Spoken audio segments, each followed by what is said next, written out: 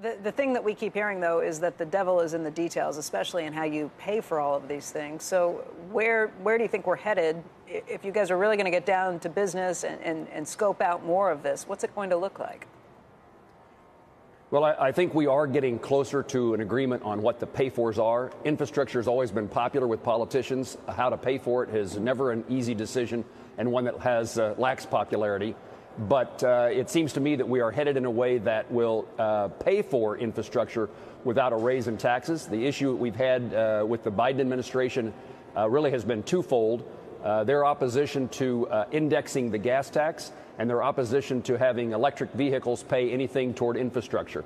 And so those conversations yesterday may have fleshed out uh, what the administration, I think it was said over the weekend that we're now, if, if you're, if you're denying us the uh, pay fors that the 21 of us have agreed to, uh, or at least agreed to in concept, then it's up to the White House to tell us what would be acceptable without raising taxes, without undermining the, the Trump tax cuts of 2017. So it is still work in progress, but everybody seems uh, in that group seems like this is something that is accomplishable. But a lot is going to be determined by what the Democrat reaction is. Senator Schumer, who's indicated he's willing to do two bills uh, including the one that we're talking about. And what is the White House finally going to, where are they going to land? Is President Biden going to live up to his campaign uh, advocacy for bipartisanship, bipartisanship? And what I heard as an inaugural address, does that those words mean something? So I hope there is give and take by the administration, and again, for the reasons that I've outlined. Hey, Senator, I, I don't know how close together the, the two sides are, are but I, I, I figure that climate resiliency was not a Republican. Uh, it, you probably didn't come up with that. I, am wondering whether, when you hear that term, could you could you just maybe give me more insight in exactly what you're talking about there, and and does it differ from climate justice? Do you know? Could you could you go into it, both of those and let me know what, what we're talking? I, I see it's fifty billion dollars, but what exactly are we getting for that? How do we get the, the climate to be more resilient? What what, what is that?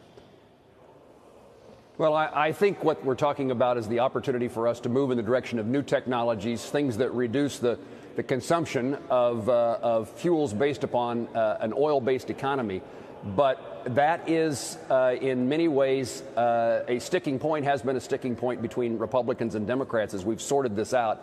And it's necessary to have that component. Again, it's, it's, it's what I hope will prevent us from having reconciliation that spends billions of dollars more on things that are not traditionally thought of as infrastructure. So it is, it is a challenge for us to bring Republicans and Democrats together generally over this particular issue.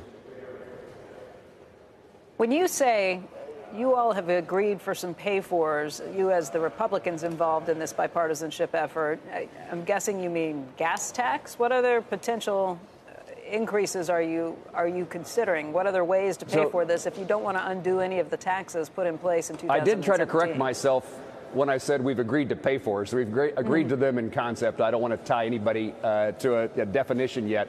But it is in, infrastructure investment by the private sector. It's public partnerships mm-hmm. that allow for the borrowing capacity of the federal government to uh, lend itself toward uh, infrastructure investment.